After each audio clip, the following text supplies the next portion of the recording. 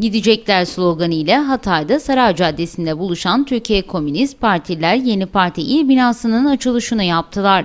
Türküler ve halaylarla başlayan etkinlikte izinsiz yürüyüşün yasaklandığı Antakya'da yürüyüş yapmak isteyen TKP'liler polis engeline takıldı. Bakın bu şekilde bayraklarla slogan atarak ellerinize malzemelerle Hocam. Geziyor da niye ben gezmeyeyim? Niye ben yürümeyeyim?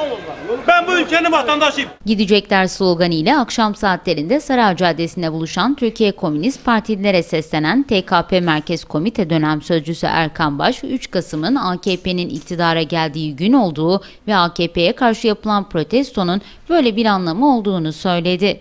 Nazım Hikmet'in Adnan Menderes için yazdığı bu milletin en karanlık günü senin ana rahmine düştüğün gündür dizelerini hatırlatan Baş, yakın tarihimizde 3 Kasım'da böyle bir kara gün olduğunu belirtti, iktidarın artık 10 yıllık yalanının tükendiğini ifade etti ve boğazına kadar batan AKP artık yarattığı pisliğe gömülecektir dedi. 10 yıllık yalanın saltanatı bitiyor kardeşler.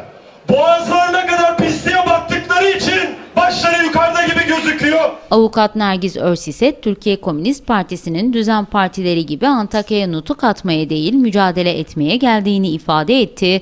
Bölgede AKP'nin gerici politikalarına ve özellikle Hatay'da yürütülen oyunlara karşı emperyalizmin mezhepsel ve etnik çatışma yaratmak üzerine kurulu politikalarına karşı verilecek mücadeleye TKP'nin güç katacağını söyledi. AKP'nin e, tüm gerici, gerici politikalarına karşı, özellikle Hatay bölgesindeki oyunlarına karşı, etnik mezhepsel savaşlar e, çıkartmaya yönelik emperyalist e, ve ayrıca özellikle vurguluyoruz kapitalist e, ve sermaye düzeninin çıkarlarına yönelik planlarına karşı biz Türkiye Komünist Partisi'nin e, Antakya'daki e, bu açılışını gerçekten kutluyoruz ve selamlıyoruz. Antakyalı işçi Atıf Özbay da Türkiye Komünist Partisi'ne Antakya'ya hoş geldin dedikten sonra emekçileri, köylüleri ve yoksulları partiye katılmaya çağırdı.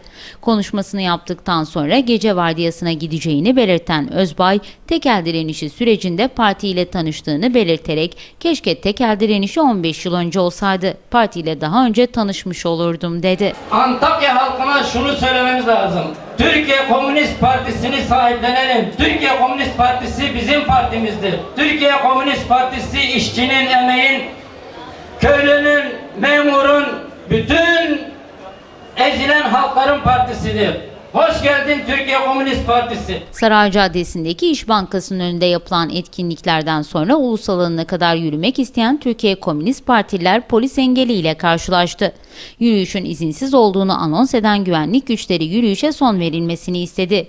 TKP'ler ise yürüyüş yapmanın yasal hakları olduğunu ileri sürerek yürümekten vazgeçmeyeceklerini söyledi. Grubu yürütmemekte kararlı olan güvenlik güçleriyle partililer arasında bir saate aşkın süren pazarlığın ardından Türkiye Komünist Partililerin Saray Caddesi'ndeki ara sokaktan geçerek parti binasına kadar yürümesine izin verildi.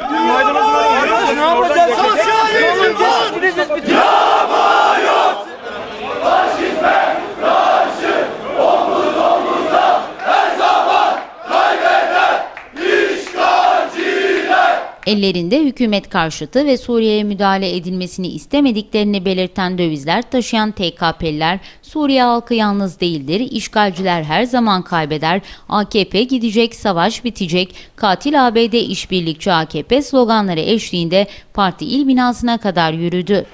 AKP